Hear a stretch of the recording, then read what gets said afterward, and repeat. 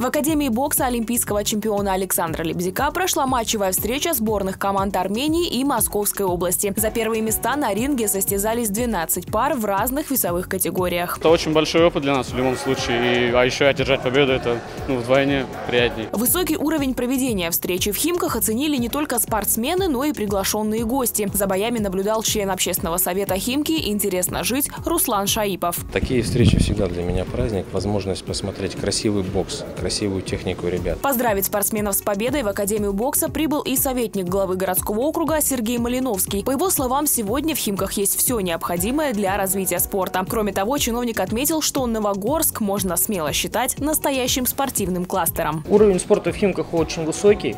Э, кроме Академии бокса Лебзика, у нас на территории, в том числе в Новогорске, э, размещено очень много спортивных учреждений. Это и центр гимнастики Ирины Винер, это и центр фехтования Эльгара Мамедова. В Химках стараются развивать самые разные виды спорта. Так, например, уже сейчас здесь открыта секция по сквошу, большому теннису. Спортсмены округа, в свою очередь, показывают высокие результаты на федеральных и международных состязаниях. Нина Бережная, Дмитрий Бочаров, Новости, Химки ТВ.